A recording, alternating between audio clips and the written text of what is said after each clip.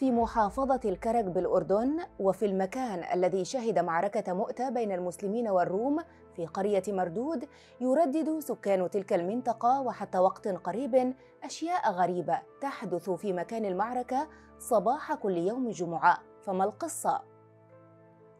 معركة مؤتة التي وقعت في شهر جماد الأولى من السنة الثامنة للهجرة ما زالت ذكرها حية في بلدة تتبع محافظة الكرك جنوب المملكة الأردنية الهاشمية.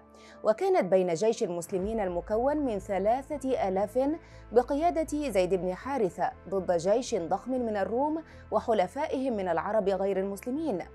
كانت تلك المعركة بوابة لدخول الإسلام إلى بلاد الشام والعراق ومنها إلى العالم بأسره.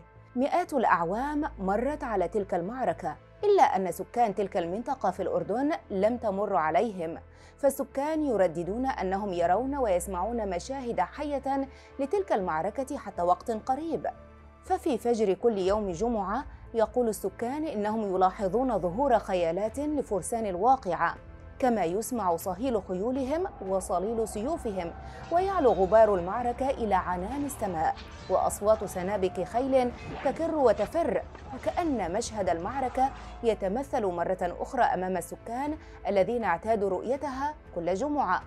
تلك المشاهد أكدها الكثيرون ممن يعيشون بجوار المنطقة التي شهدت المعركة. فهناك من أكد رؤيته لرؤوس تتطاير وأشلاء في أرض المعركة.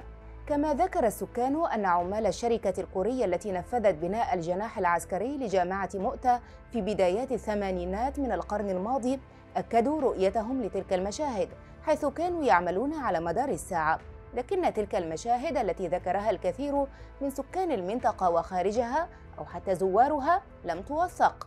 وعلى حسب رواية أحد السكان فإنهم فضلوا عدم الإفصاح عنها علنا في وسائل الإعلام المختلفة لتظل الرواية التي قيل أنها استمرت لسنوات مجرد أقوال.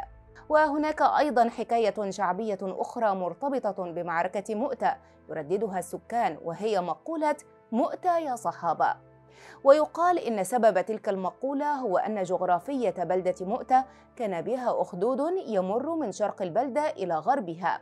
فكان على كل شخص يريد المرور من خلال الأخدود أن يشمر ثيابه ويهرول مسرعا في مشيته مرددا مؤتى يا صحابة. وكانت تلك المقولة بمثابة استئذان بالمرور من الصحابة الشهداء في المكان.